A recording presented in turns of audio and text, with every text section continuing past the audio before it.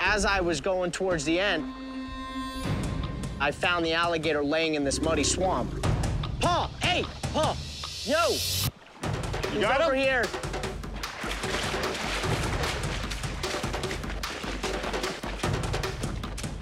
Where's he at? Over here. I didn't walk up on him yet. All right, all right, slow, slow, slow, slow. slow. Hey, it's very slippery. Be careful.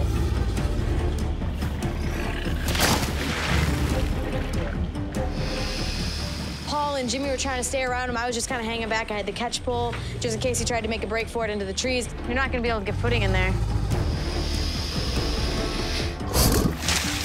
One thing that's not going for Paul is that it's muddy. You know, if he gets too close and slips into the alligator, it's gonna end up in a bite. That mud is super slippery.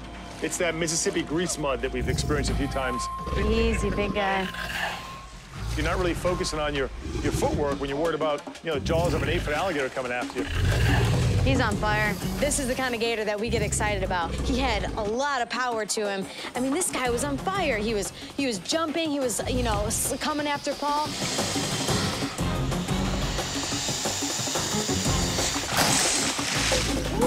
This gator just didn't stop. This gator just kept going and going and going. Now I'm falling in love. That's a good wrestling gator because he's not going to get tired too quickly. He's very comfortable with the game we were playing.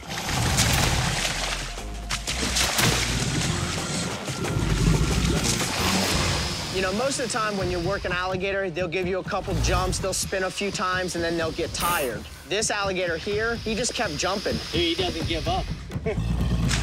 Hey, if he jumps again, I'm going to grab him, just pounce him. It was like the Energizer Bunny. He just kept going and going. I get the jump ready. Pounce him. Oh, that was great. Dude, that's a wrestling gator for That is sure. a good gator. Got your tape? Yep.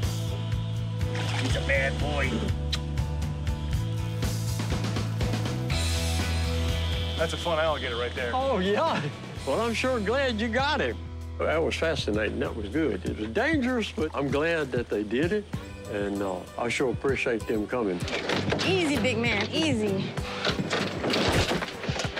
That gator's got a lot of energy. Um, for some reason, he's got a lot of endurance. So definitely a gator you don't want hanging out in your backyard.